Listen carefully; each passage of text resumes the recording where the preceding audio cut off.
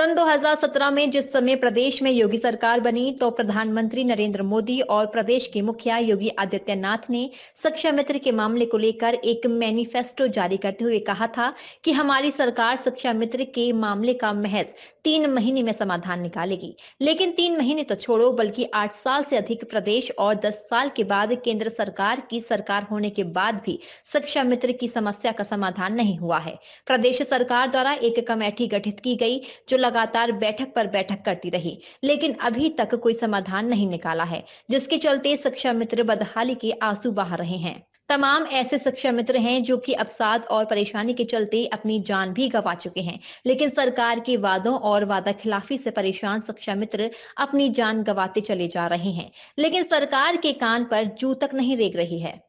शिक्षा मित्रों को भारतीय जनता पार्टी के घोषणा पत्र से बड़ी उम्मीद थी, क्योंकि सभी संविदा कर्मी भारतीय जनता पार्टी की तरफ़ बड़ी आशा बड़ी निगाहों देख रहे थे, लेकिन जिस तरह से घोषणा पत्र में संविदा कर्मियों के लिए कोई व्यवस्था नहीं की गई है, उससे निराशा मिली है। और खासकर मैं शिक्षा मित्रों की बात करूँगा। पिछले तीन महीने से शिक्षा मित्रों को लेकर के सरकार ने एक कमेटी का गठन किया था। शिक्षा मित्रों को उम्मीद थी कि चुनाव से पहले शिक्षा मित्रों के लिए कोई सौगात मिलेगी।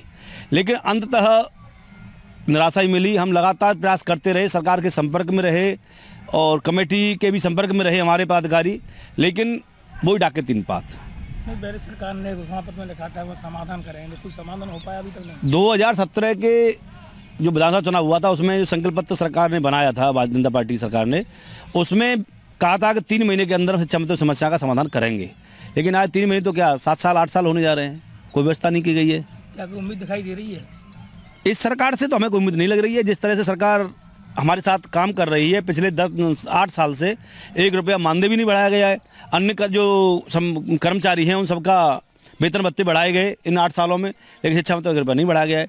और इन स्थितियों में इतने अल्प मानदेय पर शिक्षा मित्र किस तरह कार्य कर रहा है? आप देख रहे हैं, लगातार आए दिन घटनाएँ हो रही हैं। हमारे जनपद आगरा में पिछले दो महीने में चार हमारे शिक्षा मित्र हताहत हुए हैं।